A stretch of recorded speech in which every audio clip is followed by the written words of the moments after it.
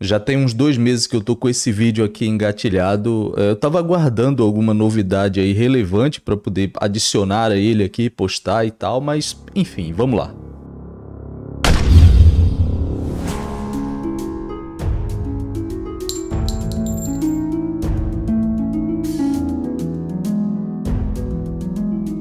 Ok, Blaze Guerreiros, eu sou o William Roth. E hoje eu vou falar com vocês aqui sobre Splinter Cell Remake, porque nós já estamos aqui em maio de 2022 e até agora nenhuma atualização sobre esse projeto que foi anunciado no final de 2021, vocês lembram, né? De lá para cá muita coisa aconteceu com a Ubisoft e claro que tudo faz a dúvida surgir cada vez mais forte na mente dos fãs. A pergunta hoje mais frequente na comunidade é a seguinte: Splinter Cell Remake sai em 2022? Pois é, pergunta meio complicada essa, né? Mas deixa eu te dizer, tem uma outra pergunta que é bem mais fácil de responder, que é: você já se inscreveu nesse canal aqui? Se a sua resposta for não, eu preciso dizer que você tá vacilando, cara, tá vacilando, viu? Se você é fã de Splinter Cell, esse aqui é o lugar certo para você estar, beleza? Se inscreve aí, ativa o sininho para não perder absolutamente nada e vamos que vamos.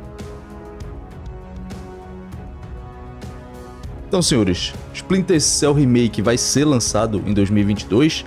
Eu posso responder essa pergunta, mas antes eu preciso repassar para vocês aqui a situação desse projeto, né, em que pé ele está. No final do ano passado, a Ubisoft anunciou absolutamente do nada a produção de Splinter Cell Remake, e logo no início de 2022 foi anunciado Splinter Cell Firewall, que é um novo livro canônico na franquia, né? Se passa ali logo após de Splinter Cell Blacklist. Eu ainda não terminei de ler, por isso que eu não trouxe ainda a minha review sobre ele. Vou trazer logo quando eu finalizar, mas realmente tá uma correria muito grande com o Sniper Elite 5 aí fazendo a cobertura desse jogo, mas logo logo eu trago, não se preocupem. E sim, eu tô gostando bastante do livro. É importante lembrar que 2022 ele é um ano especial para a franquia Splinter Cell, né? Porque é o vigésimo ano da série. Então a expectativa seria inevitavelmente alta. E com todos esses anúncios aí, lógico que a fanbase se animou ainda mais. Parecia que enfim a Ubisoft tinha acordado e enfim também Splinter Cell voltaria com tudo, um novo jogo, um novo livro, sem falar da animação da Netflix, que ainda está em produção, mas que deve estar tá saindo agora no final do ano também, enfim. Só que aí entram os poréns da história, né? Porque 2022 ele tem sido um ano muito, mas muito cruel com a Ubisoft.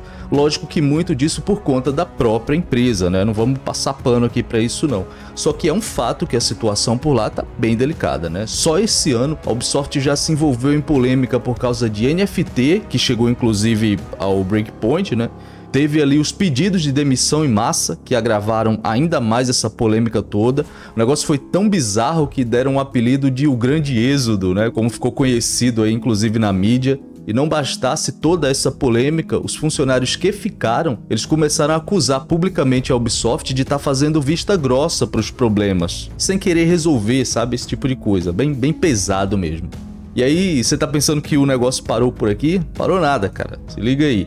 Logo na sequência, a Ubisoft anunciou o desligamento dos servidores de Hyperscape, que era um game que já estava meio morto aí, vocês devem lembrar, mas por ser um jogo recente, lógico que a comunidade ia reclamar, e reclamaram de fato fecharam servidores de mais de 90 jogos, incluindo aí o Splinter Cell Call Duty, o Double Agent, o Conviction, Blacklist e claro que mais recentemente começaram a surgir aí os rumores de que a Ubisoft estaria sendo vendida. E tudo isso em 2022, incrível, aconteceu coisa demais até agora, a gente não chegou nem na metade do ano e já tá acontecendo tudo isso com a Ubisoft, então, né, acho que o lançamento de Splinter Cell Remake hoje ele depende de vários fatores fatores. E o principal desses fatores é o quanto que todas essas polêmicas que pegaram a Ubisoft, quantas delas vazaram diretamente para a Ubisoft Toronto, que é o estúdio responsável pelo projeto.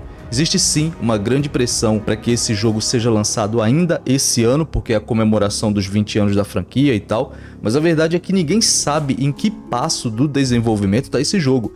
ele de repente pode até chegar esse ano, no final do ano aí, pode ser que ele esteja pausado, né? A produção dele tenha sido parada ali momentaneamente, ele tenha sido adiado para 2000 e não sei quanto.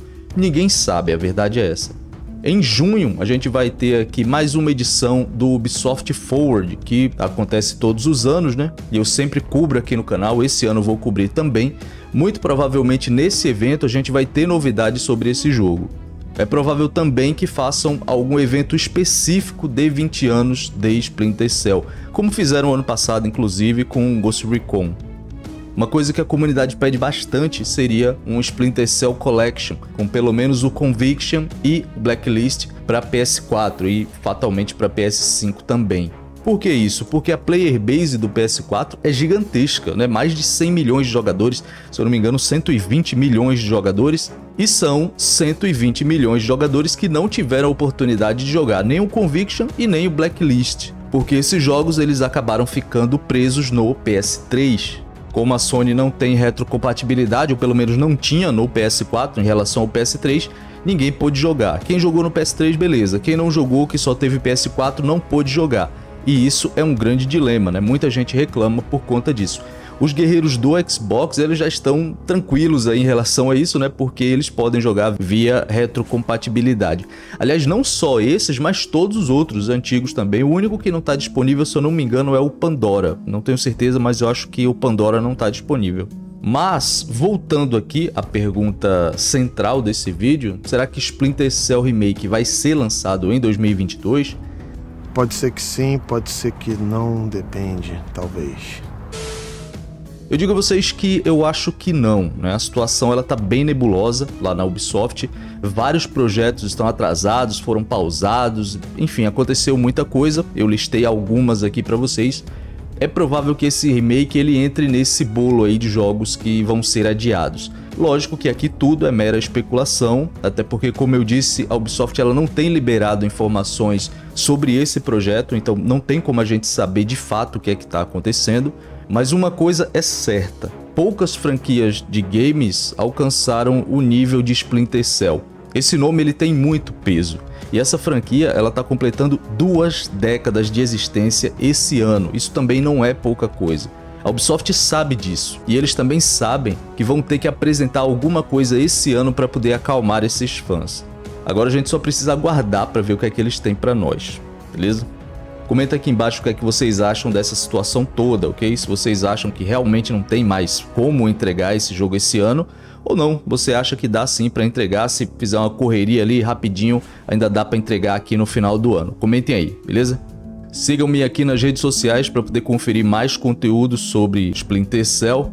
Se você quiser ajudar ainda mais com esse projeto e ganhar vários benefícios aqui no canal, então torne-se um membro, beleza? Clica aqui embaixo no botão Seja Membro e faça parte aí da nossa tropa. Forte abraço a todos, foco na missão e até a próxima.